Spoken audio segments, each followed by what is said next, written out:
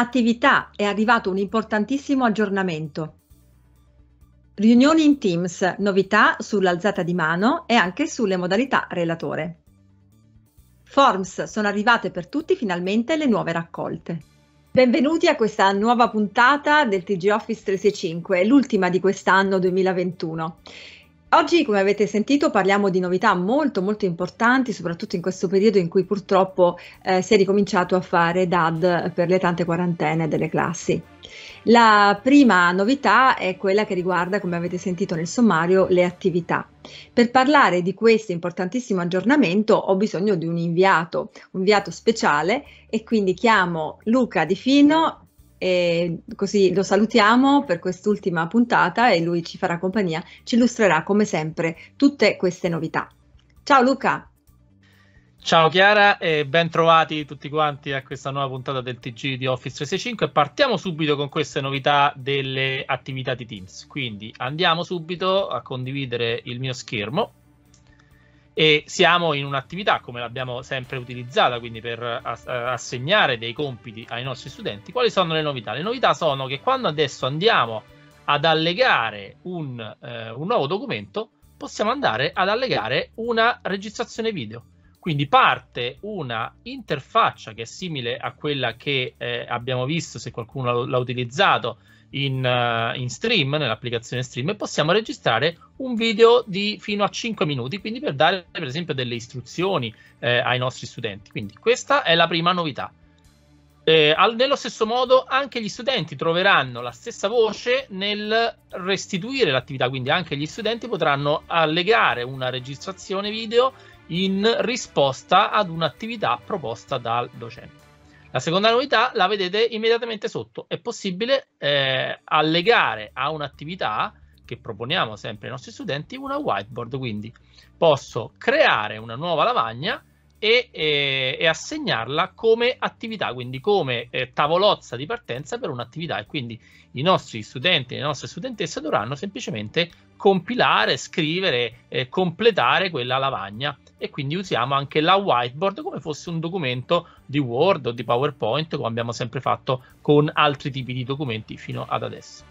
La, l'ultima novità, quindi, oltre a registrazione video e whiteboard, quindi che troviamo nella voce nuovo, troviamo le, una voce in più qui che sono le app, cioè è possibile integrare all'interno delle attività anche applicazioni di terze parti come per esempio Flat for Education, che è quell'applicazione per la musica, oppure Flipgrid, che è l'altra applicazione di Microsoft per eh, interagire con le classi, ma anche Wakelet è molto famosa, oppure altre applicazioni insomma, che potete andare ad esplorare. Quindi queste sono le eh, interessanti novità, quindi per arricchire ancora di più eh, l'esperienza che abbiamo di eh, interazione quindi con eh, i nostri studenti e le nostre studentesse eh, con applicazioni sia di Microsoft quindi una registrazione video o la whiteboard sia di terze parti, quindi di, anche di altri, eh, di altri eh, sviluppatori.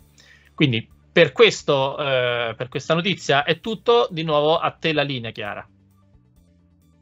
Grazie Luca, questa, questa, novità, questi aggiornamenti delle attività davvero ritengo che siano utilissime, utilissime e soprattutto la whiteboard, sai che sono un'appassionata di questa applicazione utilizzata all'interno di Teams non solo in DAD ma anche eh, nella didattica in presenza. E la possibilità di allegare una lavagna che magari si è iniziata in classe e farla terminare a casa come compito online, la ritengo una, una pratica molto utile ed efficace.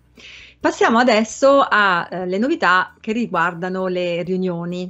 Eh, le novità sono due, iniziamo dalla, dalla, prima che riguarda l'alzata di mano e poi eh, Luca ci parlerà di quello che riguarda la modalità relatore. Come vi anticipavo nel sommario, adesso abbiamo la possibilità di vedere, di controllare l'ordine di alzata di mano dei nostri partecipanti. Facciamo una prova in diretta per cui eh, io posso ad andare ad alzare la mano anche se sono relatore organizzatore, allo stesso modo anche Luca potrà alzare la mano. E quando vado a, a visualizzare l'elenco dei partecipanti, vedete accanto alla, manina eh, c'è anche il numero progressivo, quindi questo è un ulteriore controllo che ci aiuta nel dare giusto, la, la, parola con il giusto ordine, eh, che quando si è in tanti, soprattutto nei collegi o quando ci sono tanti interventi, è molto utile l'ho sperimentato in prima persona.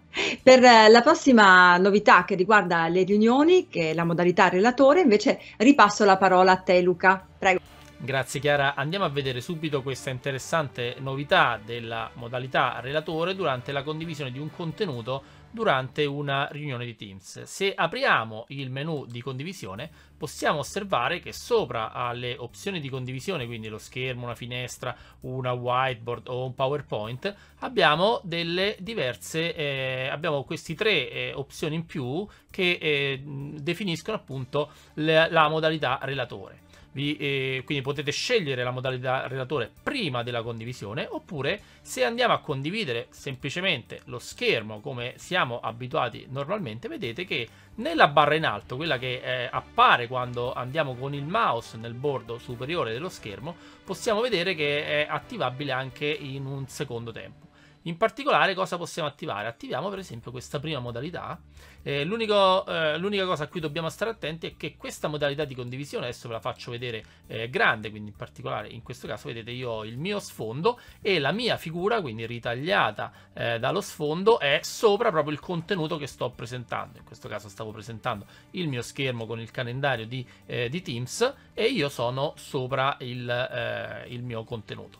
Dicevo, qual è l'unica cosa a cui bisogna stare attenti è il fatto che questa eh, presentazione verrà vista da chi sta seguendo la riunione, ma non verrà registrata, quindi eh, non, eh, non, immaginate che potete fare con questo diciamo, delle delle, dei montaggi video particolari, perché questa modalità non viene registrata, infatti io sto facendo un pochino di salti mortali per potervela far vedere. Quindi dicevo, per cambiare modalità eh, possiamo andare quindi nella barra in alto e scegliere o questa opzione, questa seconda opzione o questa terza opzione. Quindi con lo schermo eh, con il contenuto non eh, coperto dalla mia immagine ma la mia immagine semplicemente affiancata oppure a, sempre dallo stesso menu tornare alla presentazione normale con eh, solo il contenuto. Questa eh, modalità è eh, possibile attivarla anche eh, con la presentazione di un PowerPoint, ve lo faccio vedere eh, velocemente, quindi se io prendo un, eh, un, PowerPoint qualunque, quindi vado a prendere un PowerPoint e vedete che in alto si attiva modalità relatore, quindi fatemi eh, attivare, fatemi mettere magari una presentazione, una pagina un pochino più carina, quindi eh, in questo modo io sto eh, condividendo il PowerPoint normalmente, ma posso attivare sopra, vedete, la modalità relatore. Quindi in questo caso i miei, eh, chi sta seguendo eh, la, eh, la, riunione, quindi i miei studenti, vedranno la presentazione in questo modo, cioè vedranno il contenuto della eh, diapositiva e la mia immagine in basso. Quindi queste sono le eh, due eh, possibilità della modalità relatore, quindi con più opzioni se condividete lo schermo, con questa singola opzione se state condividendo un PowerPoint. Per questo è tutto, di nuovo a te la linea chiara. Grazie Luca anche per questa importante spiegazione e per questa novità eh, incredibile delle modalità relatore che rendono più eh, interattive, più accattivanti anche le nostre presentazioni in diretta.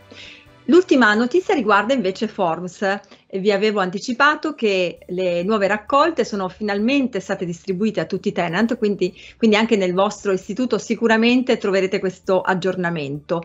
Adesso eh, condivido lo schermo per farvi vedere dove eh, si trova questa eh, novità. Ecco, come, come, vedete, se io vado all'interno eh, dell'applicazione Forms del mio tenant e devo andare, attenzione, devo andare uh, in tutti i miei moduli. È una novità che trovo quando entro nei miei moduli. In questo caso vedete che si è aggiunto questo tab, nuova raccolta. Questa nuova raccolta la posso per esempio nel mio caso può essermi utile eh, fare una raccolta di tutte le verifiche che ho creato in Forms e posso trascinare comodamente tutti i test, tutti i moduli che io ho eh, creato di verifica. Come vedete mi crea eh, una piccola raccolta di tutte, con tutti gli elementi che riguardano l'argomento del titolo. Bene Luca, eh, c'è un altro servizio importantissimo per noi amministratori, animatori digitali, docenti e tutte le scuole che non hanno Luca Di Fino da cui chiedere. È un servizio di Office 365 che eh, è chiamato Intune for Education, che consente agli amministratori di gestire facilmente anche eh, da remoto i PC scolastici. Immaginate adesso quanti PC abbiamo a scuola con tutti gli acquisti che abbiamo fatto o che stiamo per fare con i PON i bandi che ci ha messo a disposizione il Ministero. Ecco, con questo uh, servizio eh, possiamo facilitare molto questa gestione, vero Luca? Sì, Intune è un servizio centralizzato di gestione delle risorse, quindi sia dei dispositivi, ma anche eh, semplifica la modalità di inserimento degli utenti, eh, la modalità di creazione dei, delle classi, di team, eccetera, e, e, la gestione centralizzata dei dispositivi, cioè possiamo installare applicazioni, resettare dispositivi, controllare senza dover avere eh, sotto mano i dispositivi, eh, controllare tutti i dispositivi della scuola, che siano computer, che siano anche tablet, Android o iPad, cioè anche di altre eh, non solo strumenti con Windows, strumenti Microsoft. Quindi veramente, veramente eh, è, una, è, una, spesa, nel senso che è un servizio eh, a pagamento di Microsoft, ma che eh, aiuta molto il lavoro degli amministratori della piattaforma. E credo che ne parleremo ancora, vero Luca, di questo servizio perché è davvero, davvero essenziale in questo periodo, altrimenti eh, noi che ci troviamo poi ad amministrare tutti i dispositivi di un istituto intero ci troviamo davvero in difficoltà. Questo è un servizio che tutte le scuole dovrebbero conoscere, quindi ve ne parleremo in modo più approfondito sicuramente anche nella prossima puntata o in altre occasioni. Mi auguro eh, che vi sia piaciuto anche questo ultimo TG del 2021 e l'ultima puntata come vi ho eh, anticipato e che si chiude però in un modo un po' diverso dal solito. E vi auguriamo il buon Natale in un modo inaspettato. Da Roma per quest'anno è tutto. Buon Natale!